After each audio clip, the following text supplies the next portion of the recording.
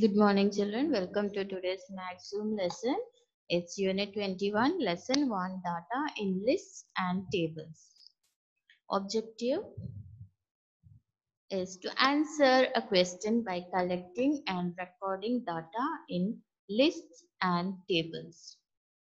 Strategy is organizing, categorizing, and representing data in tables and as lists. Now, can you help Luca sort these numbers? Sorting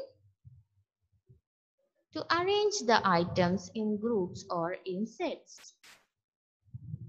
How can we sort these numbers? Yes, we can sort these numbers into even and odd numbers. We are sorting into even numbers and odd numbers. The first number 12 is an even number.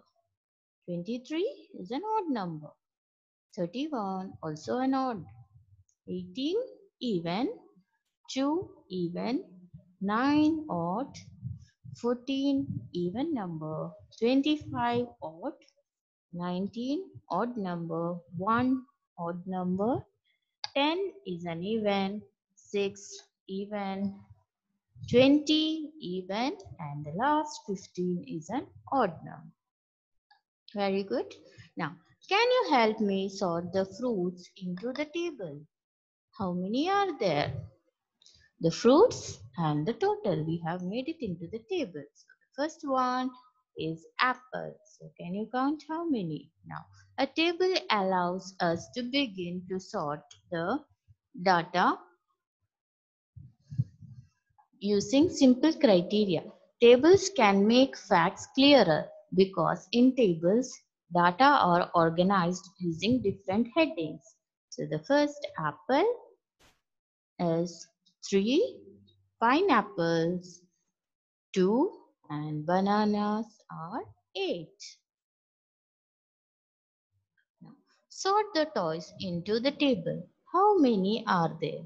Here we have kept the table toys and total. The first toy is Barbie and ball, car toy and a teddy. So how many Barbie? Yes, three. Balls, that is four. And the car toys, there are five. And the teddy is two. Very good. Now, can you help Sarah to complete the shopping list using the table. Here the table has given vegetables and total. So there are carrot, cucumber, tomato and pumpkin. Okay, so we are making a shopping list. Will help Sarah. List is a way of making a note of things that we need to remember or task we need to do. Now the shopping list is 5 carrots, 2 cucumbers, 10 tomatoes and 1 pumpkin. So this is the shopping list of Sarah.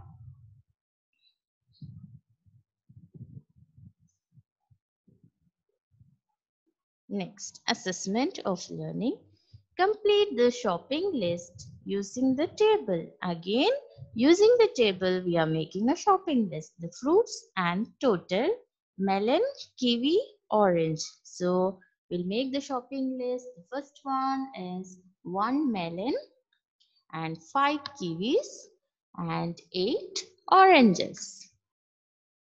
Now sort the shapes into the table. How many are there?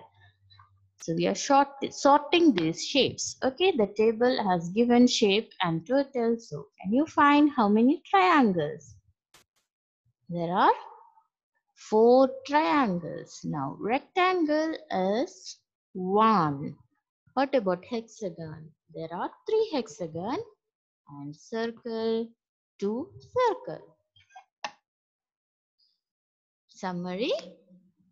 We learned how to show data in different ways and we learned how to sort data in a table. And also we learned how to make a list using the table. Homework time. You have to do Max workbook page number 113 challenge 1, 2 and 3. So thank you children and have a nice day. Bye.